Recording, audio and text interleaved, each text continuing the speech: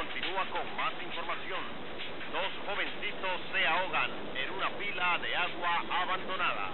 Delincuentes asesinan a un jovencito solo por robarle una bicicleta. Javier Tamayoa Flejes fue asesinado con un disparo en la nuca por dos sujetos armados con una pistola Macarón. Con Radio Ya. Abuela, nos vemos, me voy, nos vemos. Bye. Ok, Ahí voy. Si quiere un papel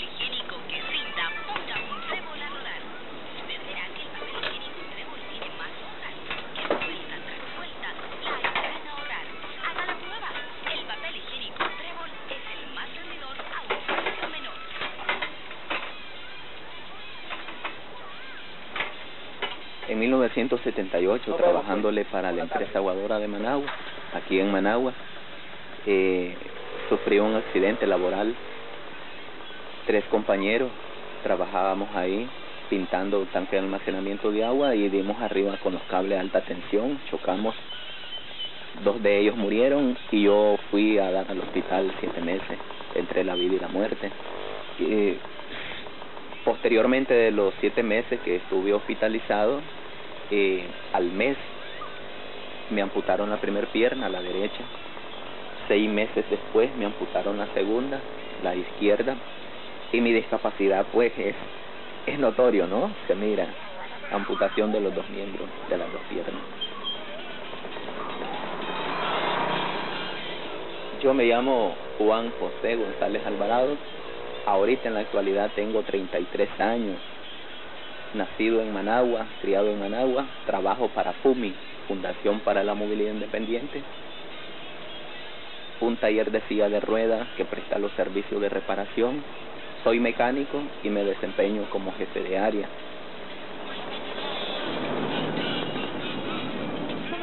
El desempleo acá en la actualidad arroja una cifra de un 60 o 70%, dado de que no hay fuente de trabajo y las personas para sobrevivir tienen que andar vendiendo loterías, frutas, periódicos o muchas veces niños de menor edad tienen que andar en las calles pidiendo limosna. Y la mayoría de ellos viven en situaciones muy precarias, podemos decir muy míseras, en casitas de cartones o casitas construido con plástico y la situación es bien lastimosa dado al momento que estamos viviendo en la actualidad.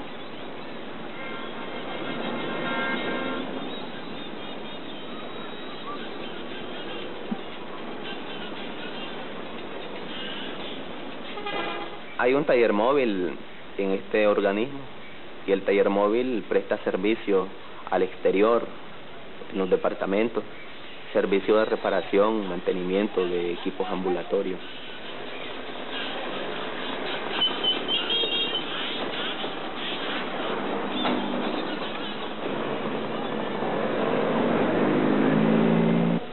Tenemos el objetivo fundamental, que es la reparación de sillas de ruedas y la innovación de ellas mismas. Después tenemos las construcciones de equipos ambulatorios como es muleta, bastones.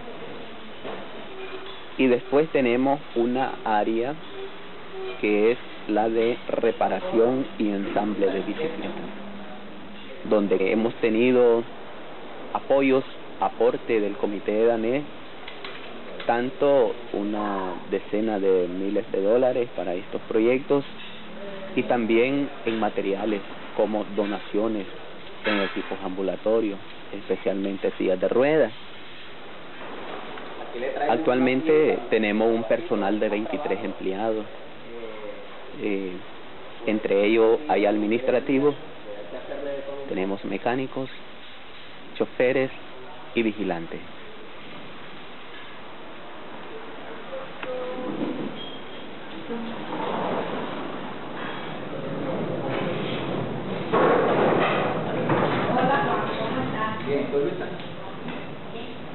Abájelo, Pablito, vamos a verla. Tuve que pesar esta para poder venir aquí. Ah, sí. No, y es que en verdad está muy deteriorada, ¿ah? Tiene mucho trabajo. Así ¿Y qué le pasó? se arruinó, está bastante mala. Acumulamos gran gran cantidad de cadáveres, chatarras en las hueseras del taller. Pero cuando es muy grande la montaña, nosotros lo vendemos a la fundación, a las fundiciones, quedándonos solamente con lo que vamos a utilizar.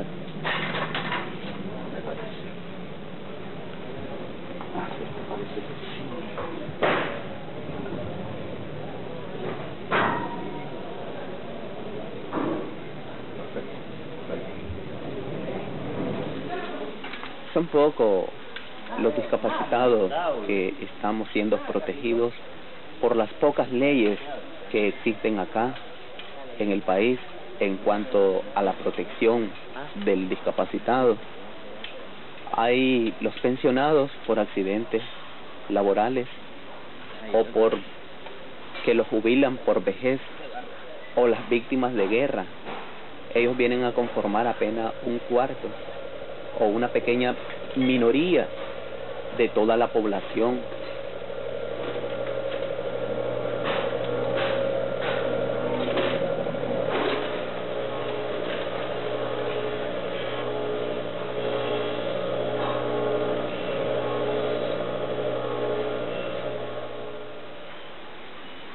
Mi nombre es María Luisa Artola. Mi edad 26 años.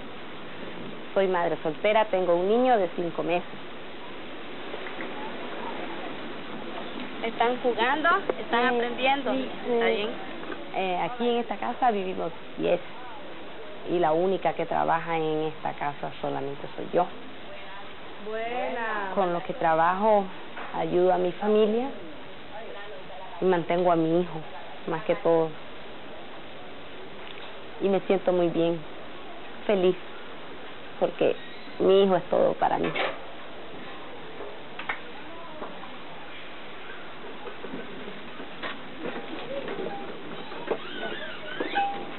Eh, en la empresa donde yo trabajo, allá solo trabajan discapacitados. So, es diseñado para eso.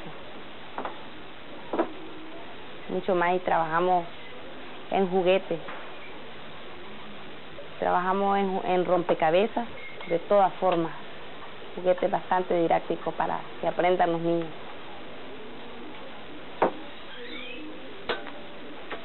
Véngase. Esa es su mamita. mi Véngase a amor. Donny.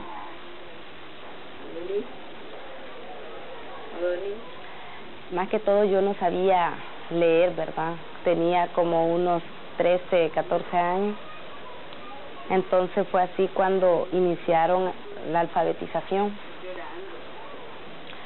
Cuando yo yo quería aprender a leer, pero como yo no tenía en qué irme a recibir la clase donde la daban, entonces este el muchacho que daba la clase, el profesor, miró la gran necesidad que yo quería aprender, pero como no podía ir hasta allá, entonces fue así cuando él me llevó de regalo una silla de ruedas. Desde ese tiempo, bueno, yo ya me movilicé a estar yendo a recibir la clase. Ya era muy feliz, ya salía donde yo quería, donde antes no podía porque solamente mi hermano que me chineaba, pero ya como ya soltera ya me daba mucha pena. Entonces, como ya estaba algo soltera, ya no me gustaba que él me chineara, pero ya cuando mi silla me la llevó el profesor, ya me sentí bien alegre. Pues, hijo, ¿no? Pero era muy horrible, muy horrible, muy horrible no tener una silla de rueda, alguien que la necesita verdaderamente. Había momentos que me sentía sin desanimada completamente, pero ya cuando verdaderamente el profesor que me llevó mi silla, yo ya me sentí muy cambiada, distinta completamente, porque yo ya me sentía que ya no iba a ser aquella persona de que solo se dedicaba a estar ahí sentada, algo así como que como que no sirve sirviendo, pues, pudiendo hacer algo, ¿verdad? Bueno, y ahora me siento más que nunca bien, tremenda porque ya no soy la misma de antes.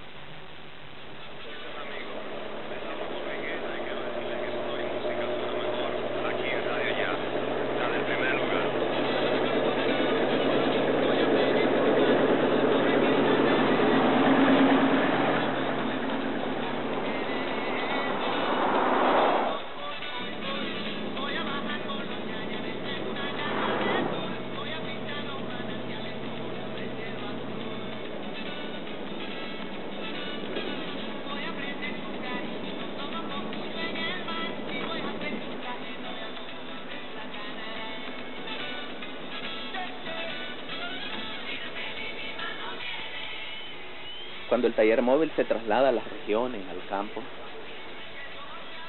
coordina con los padres, con la asociación de padres de niños con discapacidad, los pipitos, y ejercen un trabajo en conjunto donde los pipitos le aseguran ese trabajo al taller móvil en X región. Ahí se monta una campaña de orientación y sensibilización al padre de familia para con sus hijos discapacitados y el cuido especialmente de las sillas de ruedas que ellos utilizan, dado de que las sillas llegan en situaciones bien precarias, bien molestas, casi chatarras. Ahí en las zonas rurales, urbanas, en las aldeas, en las montañas, las sillas de ruedas, las pocas sillas de ruedas que ahí existen, pasan de, de una mano a otra mano, decimos nosotros, o sea, de una posición a otra, porque el Estado no se preocupa ni le da solución ni una silla de ruedas ni X aparatos ambulatorios a estas personas que están en el campo.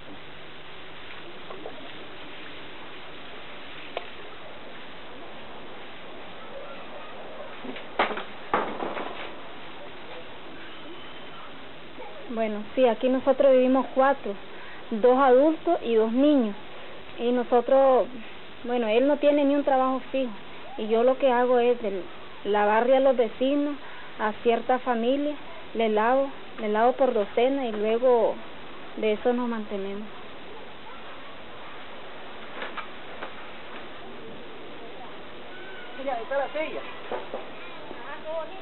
El niño se llama Harvey, ¿ya?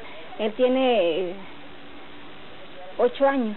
Él tiene, tuvo bastante problema cuando él nació, fue cianótico, cianótico y, y prematuro. Sí, él no puede caminar, él se operó de los pies porque él cuando caminaba cruzaba las canillas, cruzaba las canillas y todo.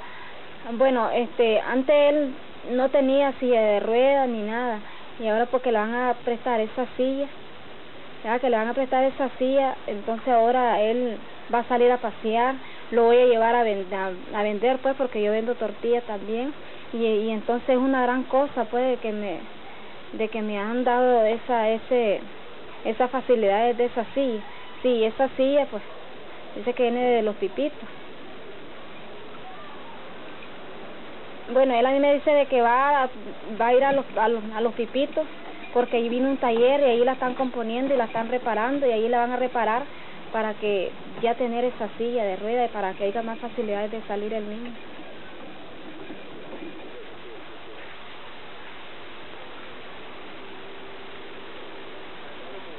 Alejandro Cruz Calavera, presidente del capítulo de Montaña.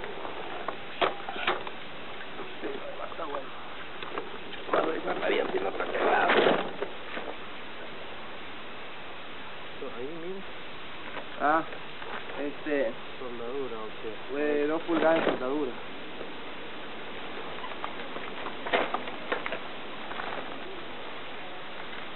Entonces lo que vamos a ver es el forro de aquí y... ¿Vos querés que te le cambien los dos forros, no? Sí, los dos, porque andan un poco estirados. ¿sí?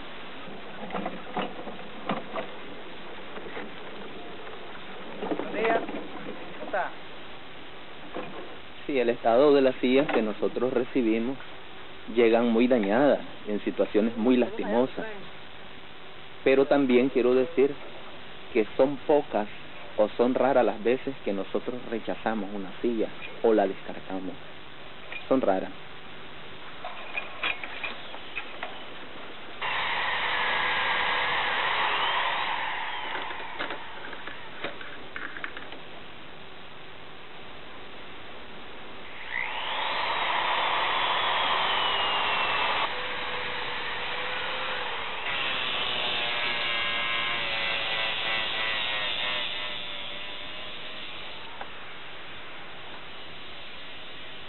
Una silla de ruedas renovada en buen estado sea de niño o sea de adulto, tiene un valor de 750 córdobas. Un empleado nicaragüense gana estatal de 300 a 400 córdobas mensual si es obrero no calificado.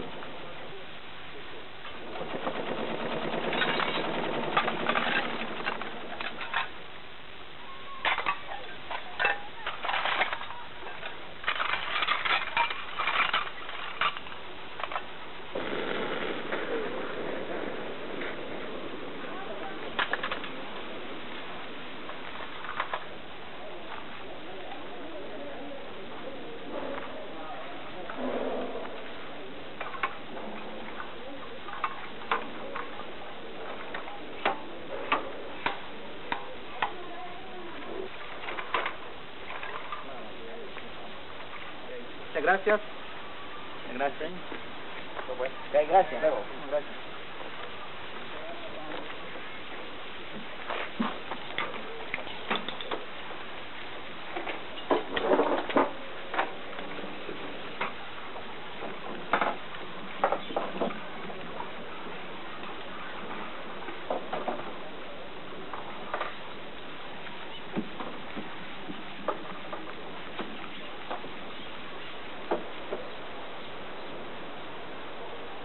En las aldeas, en los pueblos remotos, vamos a mirar situaciones precarias en cuanto a niños discapacitados que están en una silla o en una cama rústica construida con pedazos de madera, dado de que la familia no tiene recursos económicos para comprarle una silla de ruedas.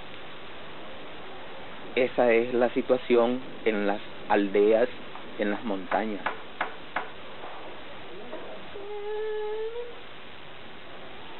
Nunca ha tenido la silla de ruedas por el, por el motivo pues de la pobreza. La pobreza porque usted sabe que una silla de ruedas vale, no sé qué cantidad vale, y re- reunir este dinero junto cuesta mucho. ¿eh? Cuesta mucho reunir dinero. Y en- yo me vengo pues a andarlo cargando en brazos, chineado ahí, porque no, no se ha podido comprar la silla de ruedas. Porque yo tengo la esperanza que Dios primero que camine. Sí, el niño yo me hice cargo de él, como le conté, me hice cargo de él desde la edad de 17 días. O sea que yo soy partera, yo lo recibí también cuando él nació.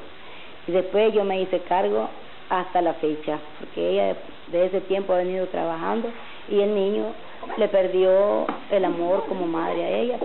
Yo le sustento y con, comprándole su alimento y al mismo tiempo también cuando él está enfermo, buscar el médico para atenderle en sus enfermedades. A la fecha, pues, porque él ha sido muy enfermo, demasiado, ya que es discapacitado.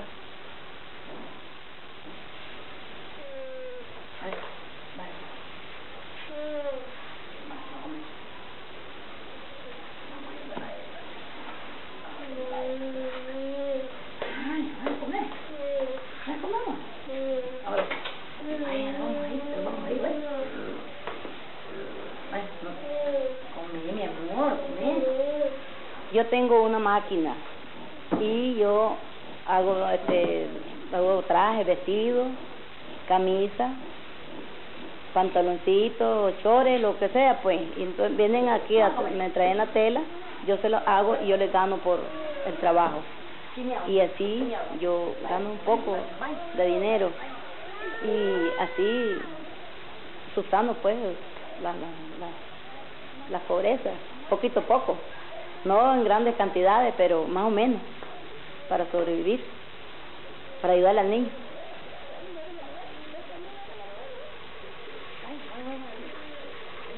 Hace tiempo que nosotros tenemos deseo de, con- de conseguirle su silla de ruedas, pero por la situación tan pobre no hemos podido.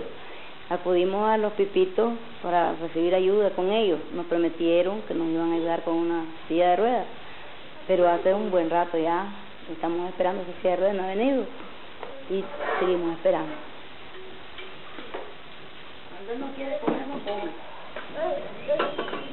Sí, en Nicaragua ha pasado por crisis muy difíciles. Por ejemplo, el terremoto de 1972 que dejó casi 30 mil muertos entre niños, ancianos, eh, huracanes como el huracán Joan, erupciones de cerros como el Cerro Negro en León. Y dictaduras como la dictadura, la dinastía de Anastasio Somoza.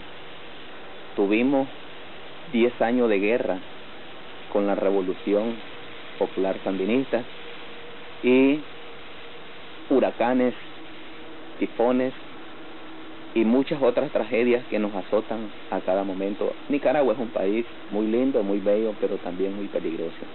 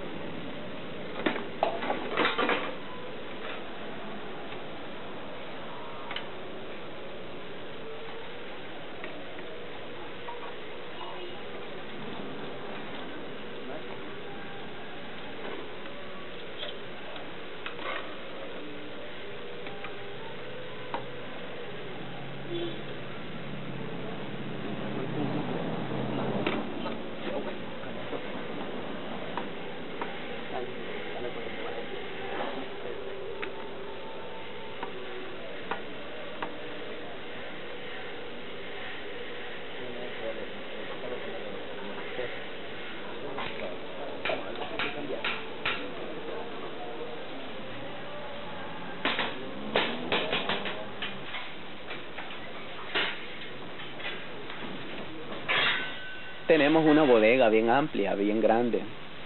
Esta bodega queda en la parte de al fondo del taller. Hay repuesto de todo tipo, hay bicicletas, hay unas que otras sillas de ruedas reparadas al fondo, tenemos bastones, andariveles, muletas, pero en mal estado, son repuestos. ¿Cuál ah, te miren uno aquí. Ah, es azul, pues. Sí, esa. Esa. Esa. Sí. Ah, pues. Y también tenemos a un hombre ahí que es malabarista, es José Arteaga. De esa, Sí. es mejor esa, aquí mejor de, de cambio, sí. Muchas veces ocupa su escalera, pero hay veces se queda colgado y ahí arriba como murciélago hace su trabajo. ¿ah?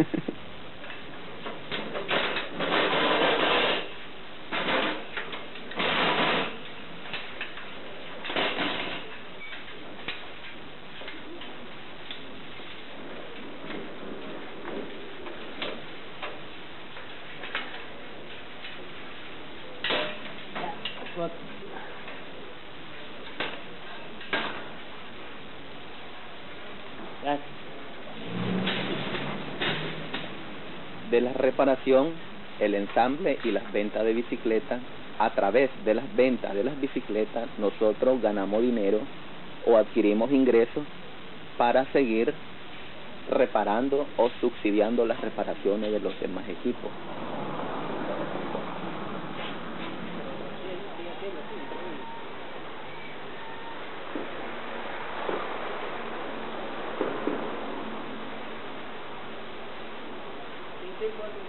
Puede atender?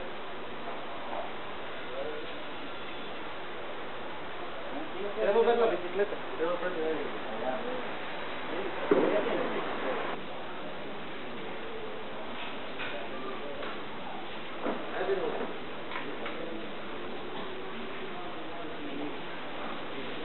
Buenas tardes. Vengo a cancelar la reparación de mi tía. Ya que había venido bien mala y ya me dijo Juan que valía 200 Córdoba. a las personas que pueden pagar a lo inmediato pagan pero las personas que no tienen recursos se le abre un plan de crédito aportando lo que él pueda aportar y quedando pendiente con el resto. O sea es un crédito pero las reparaciones siempre se le hacen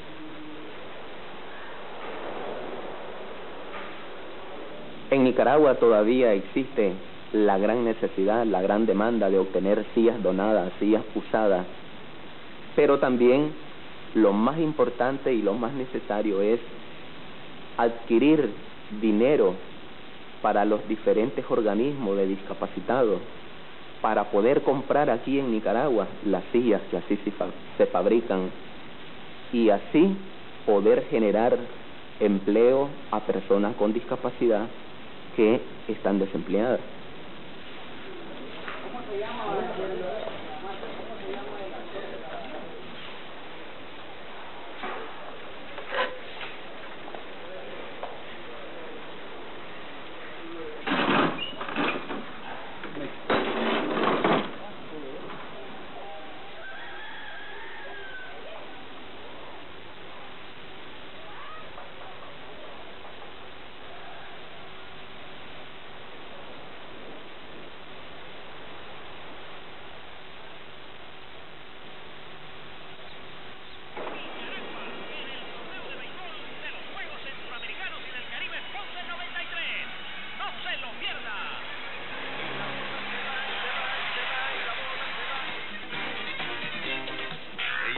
Francesca, cómo no, y está en contacto 600.